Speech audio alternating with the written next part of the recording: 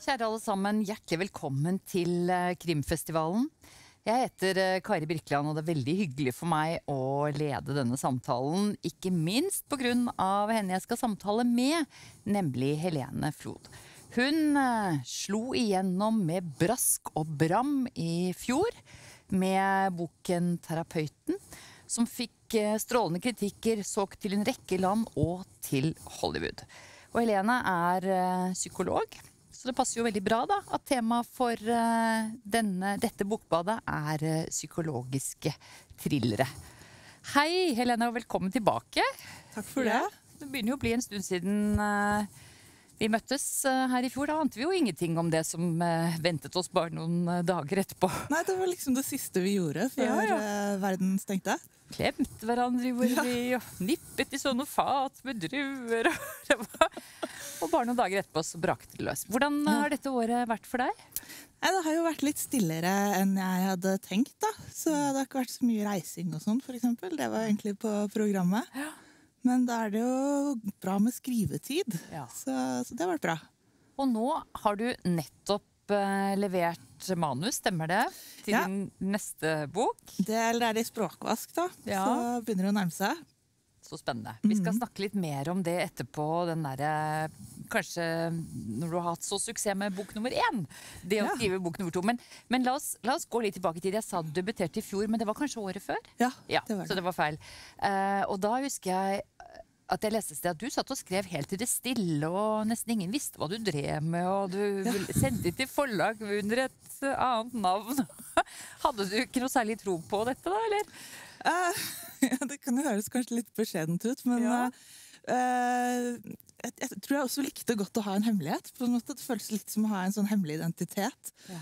At det var et, et eget prosjekt. Eh, og jeg satt jo og skrev på noe annet, og sånn, men, men dette var liksom en sånn sidegreie jeg gjorde, gjorde litt for meg selv.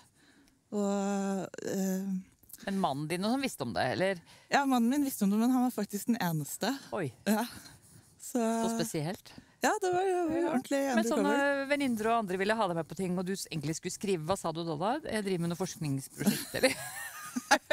Guri, det husker jeg ikke om jeg hadde noe Nei. skalkeskjul. Nei, det, var, det må jo ha tatt litt tid. Det tok jo litt tid. Ja. Det var litt sånn skrive innimellom andre ting-prosjekt. Liksom Hvis jeg hadde en time for meg selv, så, Så var det å sette seg ned. skrev jeg. Ja. Og det var jo en uh, utrolig god bok, uh, som har fått uh, strålende kritikker og solgt til en rekke land.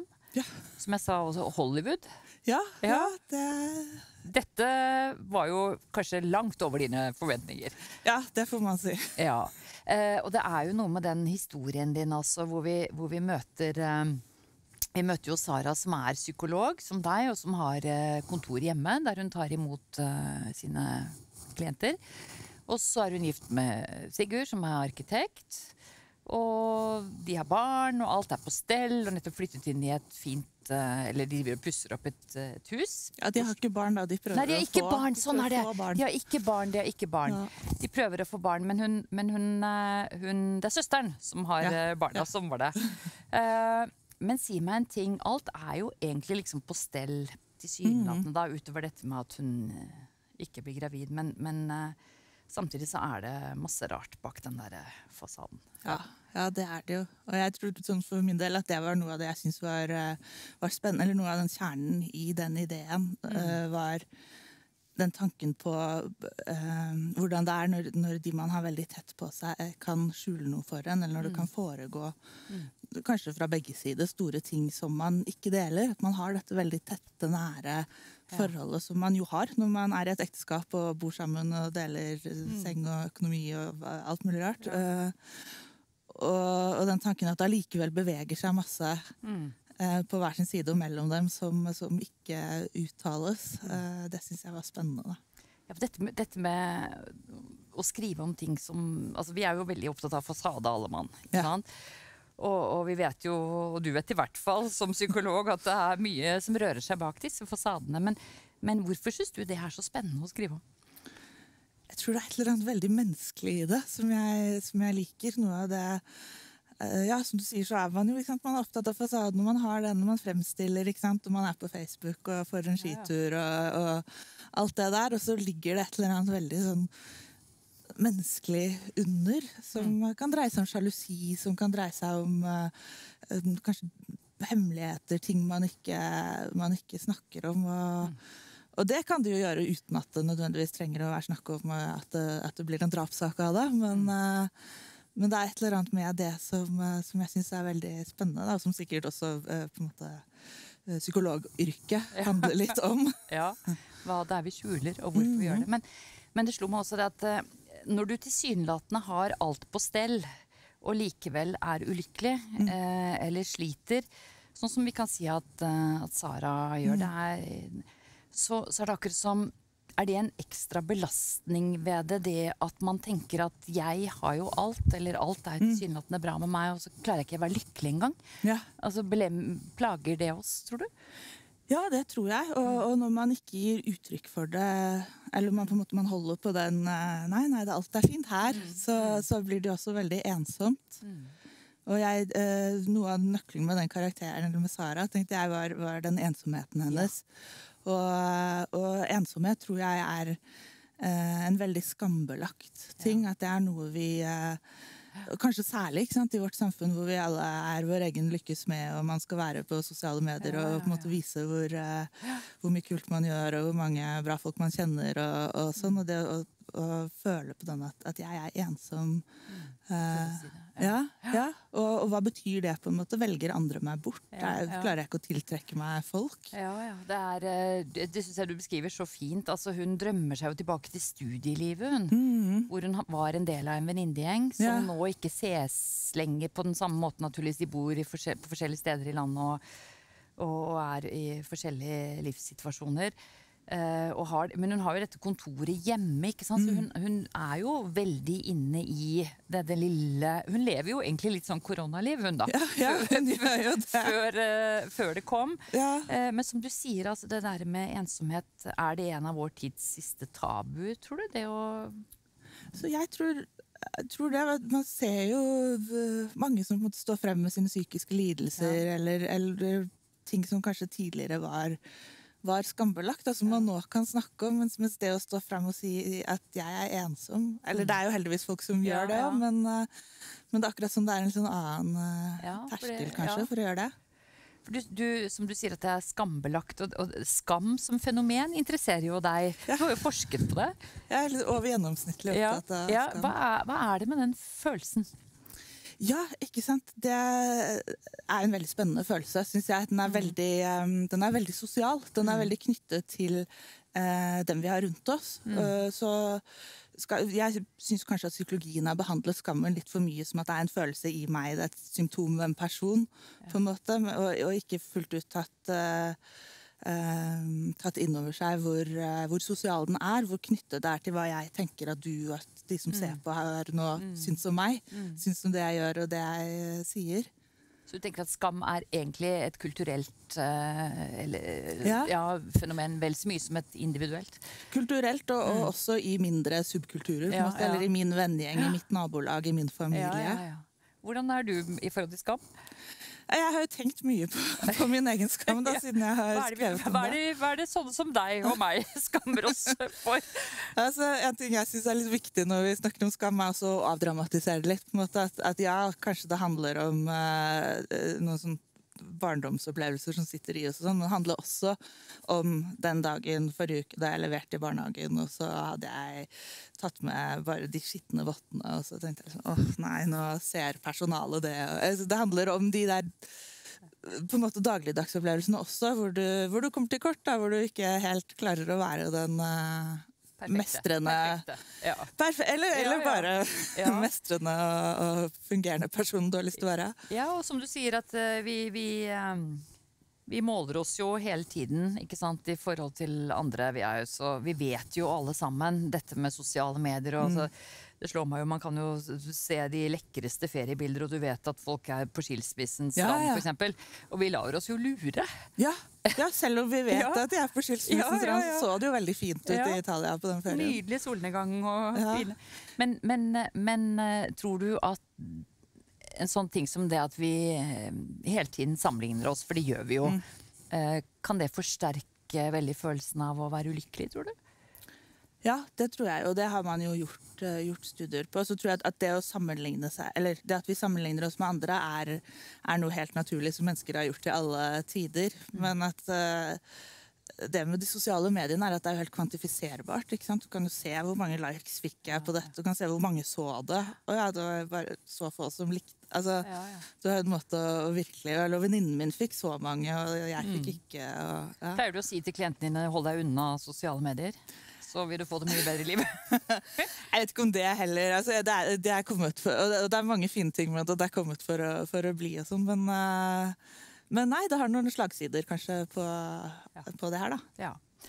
Du, eh, bare for litt tilbake til boka, så, så, det som er spesielt der, er jo at mannen til Sara Sigurd han bare forsvinner. Mm. Og så virvles vi inn i en sånn creepy atmosfære hvor hele det som er veldig sånn urovekkende, at vi vet ikke helt om de tingene skjer, eller om det er inni hennes mm. eget hode. Tenker du at det er litt sånn kjennetegn på en psykologisk thriller? Ja, det gjør jeg nok. Eller at, at spenningen hentes veld, fra det veldig nære. Enten det veldig relasjonelle eller det som skjer inni, inni meg. Ja. Og dette med at ikke vi ikke klarer helt å skille virkelighet mm. og, og, fantasi, eller ja, eller, eller galskap, eller, galskap, ja. ja. For hun blir jo sugd mer og mer inn i det. Det er veldig Hvordan fikk du denne ideen? Uh, ja, ja, ikke sant. Det er jo mange sånne småting som, ja. uh, som uh, skapte den ideen. Men noe, noe, jeg er veldig opptatt av, er den hva, hva frykt kan gjøre med oss. Eller når man har egentlig alle på en måte sterke emosjoner, men, men når man er veldig redd, da, så, så, kan det bli litt som en sånn tunnelsyn. at du på en måte, eller du, Når du ser rundt deg, så ser du bare de skremmende tingene. Mm. Uh, så du blir veldig sånn fokusert på, på, det. På det som ikke helt stemmer. Og så, uh, så er, det, er, det, sånn du oppfatter verden. Og så kan man jo sant, spørre seg, som hun jo gjør. Er det, er det meg? Liksom, er det jeg som ser disse tingene, eller, eller er, det, er, det, der? Jeg syns det ligger et, et, spenningspotensial i det, fordi ja. vi også, tror jeg, alle kan kjenne oss litt igjen ja, ja. i det. At, eller det er noe veldig truende når jeg ikke lenger vet om jeg kan stole på mine egne sanser, min egen hukommelse, min egen opplevelse. Og kan du stole på de aller nærmeste? Ja, ikke sant? Men tenker du at vi uansett om du har vært gift i 50 år, altså at vi aldri kan kjenne et annet menneske helt og fullt? Ja. ja. At vi alle har hemmeligheter? Ja, på en måte så tenker jeg det. Og, og så tenker jeg det er noe av det litt fine med det også. At, at det å uh, være gift, da, eller satse på kjærligheten. Og, at det handler jo også litt om at du, kan aldri vite om partneren din holder på med noen andre eller er i ferd med å forlate deg. Eller, så du må på en måte Eh, leve med den risikoen. Og det er litt av det som, som kjærligheten handler om også. Si at nei, jeg velger deg på ja. tross av det. Tenkte du da du skrev boken at liksom, dette er en psykologisk thriller? Ja. jeg var kanskje ikke så sjangeropptatt av nei, nei. Men, men uh, i ettertid så er det jo på en måte det boka er blitt uh, sant, Den nye Gone Girl og sånn, som, som, jeg husker var veldig mange som skrev Eller altså i den sjangeren, da. Mm. hva er det med den sjangeren som fascinerer deg? Jeg tror det er noe med det å hente spenningen fra det veldig ja. tette. Mm. At, uh, at, du skal klare å lage den, den trykkende stemningen, den uh, sånn Oi, hva skjer på neste side-følelsen uten å, å kjøre på med Ja, ikke sant? eller torturere dem, eller ja, ja. hva som måtte se. Men du eh, Og nå har du altså eh, Det er jo så mye snakk om den vanskelige andre boka. Det er jo et sånt begrep, det. Ja. er det mange som maser om det? Er dette noe du er lei av å bli spurt om? Uh, nei, nei, nei. Men jeg har hørt uttrykket. Ja. Uh, men er det veldig annerledes å skrive denne boka? Fordi at nå, Det er jo ikke til å stikke under stol at det er jo store forventninger til den, naturligvis. Ja. Uh, altså, jeg det jeg gjorde, var at jeg solgte rettighetene til tre bøker. Mm -hmm. til, jeg hadde flere ideer, og så, så, gjorde vi det sånn. Eller agenten min gjorde, ja. gjorde det. Så da tenkte jeg da vi gjorde det, at liksom, er jeg helt sprø som, som, gjør det. For nå er det jo i hvert fall et press. Ja, ja, Men på en måte så tror jeg det gjorde at for meg så ble det et prosjekt med tre faser, og nå var liksom fase én tilbakelagt. Så nå er det på tide å ta fase to, og da visste jeg hva jeg skulle gjøre. Ja. Det var, var ikke sånn at jeg satt der når jeg skulle begynne på noe som Å, nå er alt åpent. Ja, ja. Det tror jeg hadde vært vanskeligere. Så du visste allerede da du skrev bok nummer én, at du hadde eh, tre bokideer Ja. klar Ja, i så hodet? sånn kan det gå. Ja, Ja, selv om det er en ny historie. Ja, sånn, så for er det sånn, handler jo ikke er- om eh, hva, hvor mye Jeg vet at den heter 'Elskeren', Ja, ja, eh, og kommer i mai. Eller Juni, ja. Eh, hvor mye kan du fortelle?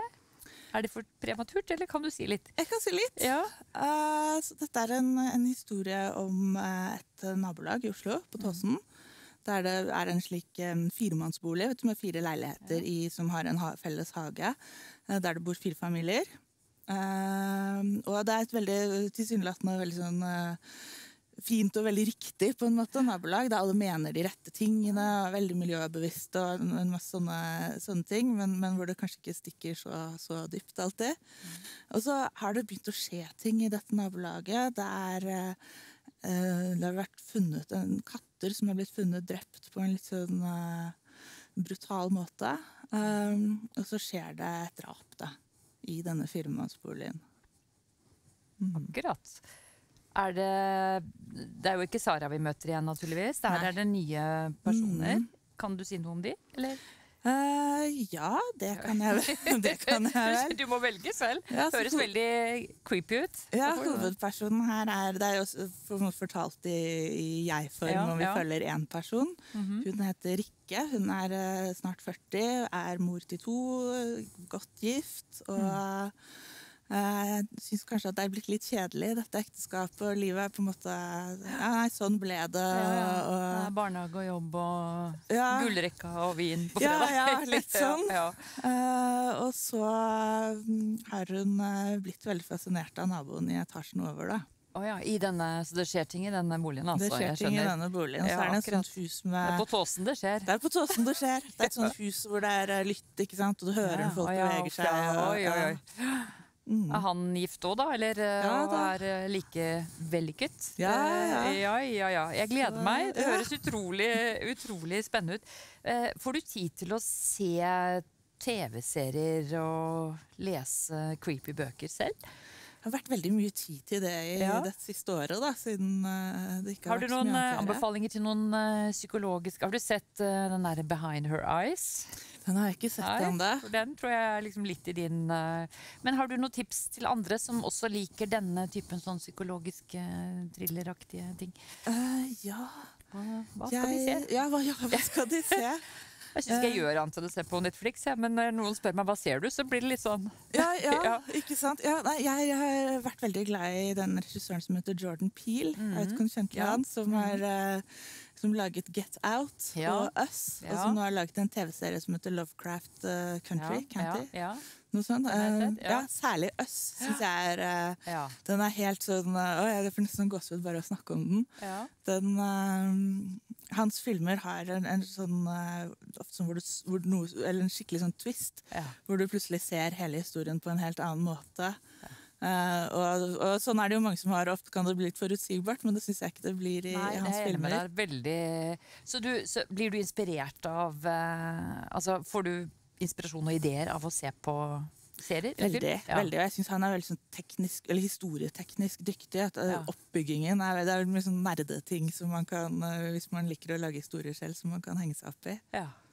Du jobber fortsatt som psykolog, eh, Helene. Fortell Ja. til det midt oppi Ja, ja, jeg jobber som, som forsker. Ja. Mm. Kommer du til å, Tror du er drømmen din å bare skrive på fulltid, eller trenger du den derre jordingen med jobben? Jeg tror jeg trenger jordingen. Jeg tror det fungerer litt sånn. Hvis ikke så kan det begynne å Jeg tror jeg kan bli vanskelig å bo med hvis jeg liksom bare sitter, sitter i mitt eget hode. Ja. Selv om det er jo egentlig det vi har gjort mye det siste året. Eller eh, kanskje Ja. ikke, vi har jo vært på Teams, da. Vi har vært på Teams. Eh, hva savner du mest da fra det vanlige livet? Jeg savner veldig å møte mennesker, ikke på, på Teams. Jeg synes sånn vinkveld på Teams og sånn synes jeg er litt uh, halvveis. Ja ja, sånn eh, etter jobben-øl. Ja, ja. Nei, enig. Det, er, eh, det er noe helt annet å sitte og snakke med folk. Ja. Men du, jeg må bare spørre bor du på Tossen?